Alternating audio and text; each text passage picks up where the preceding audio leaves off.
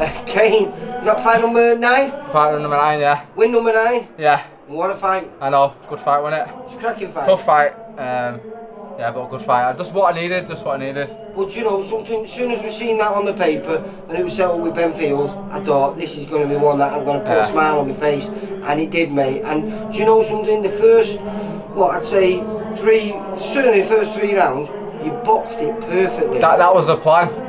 That was a very good that- plan. That, was the plan to box him, wearing him down, and then start picking up then the last three. But then he caught me with a shot, and from there I just I just thought, you know what, to keep boxing, and yeah, I'd box, uh, No, box it was, it was absolutely, it really was. It was a cracking fight, and I take me me out of to Ben because after three rounds, he he hadn't laid a glove on you. No, no, laid a glove that's what I mean, was a box- out boxing, perfect. it, yeah. It was, and it wasn't just, it was on the back foot, but it was, it was.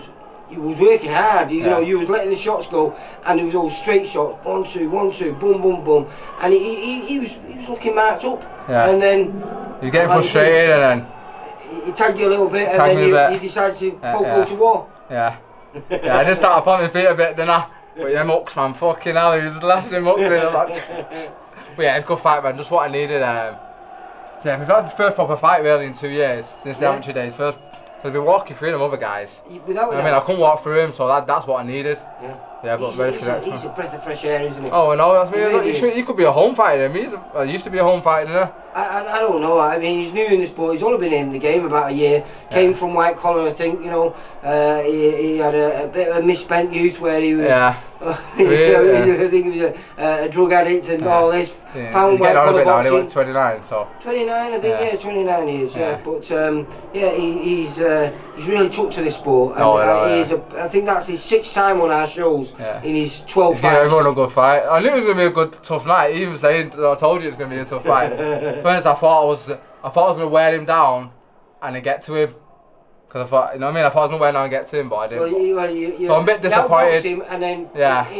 You, should listen. You have to have a fight at some point in your life. I know. And, and that was that. You know what I mean? And, and it was great. It was a total of the it's fans really- were loving it, mate. They were Yeah. loving it, mate. Yeah, and, yeah. and that was, uh, you know, it was.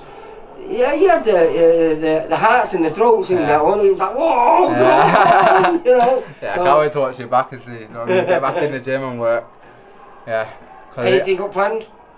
I went to box in two weeks on the Hughie Fordy show Oh right, I mean, at the Victoria Warehouse, Yeah. May the 25th. That's to see. you see, I don't know how bad that is. I'm not boxing in a minute. Is it I bad? think it's just a little bit of a swelling. Oh, isn't it? Is it? I don't I'll know. probably be alright. Yeah. Yeah, No, see what the coach and that says first. Yeah. Yeah, but What did they say to you after you spoke to him or? yeah, yeah. That's what I briefly Mm. said. Um, some of the stuff that I did in the gym, I didn't really do.